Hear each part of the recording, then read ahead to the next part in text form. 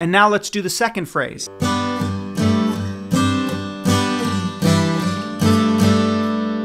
So this is the same shape, it's just moved around the fretboard. It starts with your third finger on the 11th fret of the second string and your middle finger on the 11th fret of the fourth string. And I'm just going to tell you the fret number where this shape is going to move because they stay the same relative to each other. So it's 11, 9, 12, 11, 4, 9, 9.